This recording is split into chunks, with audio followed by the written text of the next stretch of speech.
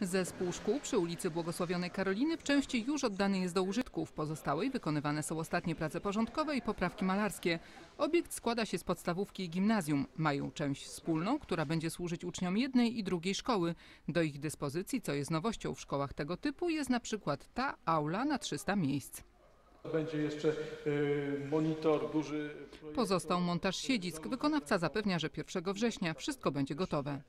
Jest to jedna z większych szkół, chyba największa obecnie w Rzeszowie. Nie ma tak dużej, dużej szkoły.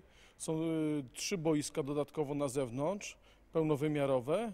Oprócz tego jest jeszcze bieżnia, skocznia w dal, y, boi, znaczy plac zabaw dla dzieci.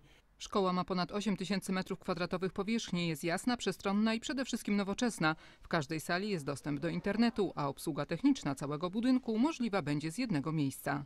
Będziemy sterować odpowiednio wentylacją, klimatyzacją, oświetleniem.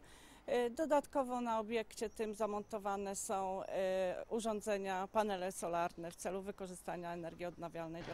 Inwestycja w całości realizowana jest z budżetu miasta z myślą o uczniach z peryferyjnie położonych nowych osiedli.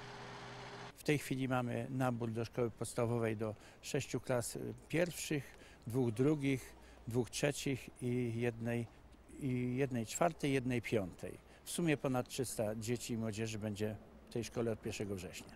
Dodatkowo 400 uczniów w gimnazjum i uczniowie gimnazjum i podstawówki szkołę mogą oglądać na razie jedynie z zewnątrz. Może się bardzo spodobać, sądząc po opinii Rozalki, córki kierownika budowy, która z wielkim zainteresowaniem zwiedzała statą obiekt, a która na co dzień uczy się w szkole w Sędziszowie Małopolskim, z której do Rzeszowa wolałaby się przenieść. Ta jest taka nowoczesna. W mojej szkole nie ma takiej dużej sali gimnastycznej, nie ma siłowni, nie ma sali fitness. No jest bardzo mały plac zabaw, tu jest dużo ładniej. Władze Rzeszowa na inwestycje w oświacie zarezerwowały w tym roku ponad 40 milionów złotych, w tym na wakacyjne remonty szkół i przedszkoli 3 miliony. W zespole szkół przy ulicy Błogosławionej Karoliny ma się w tym roku odbyć wojewódzka inauguracja roku szkolnego.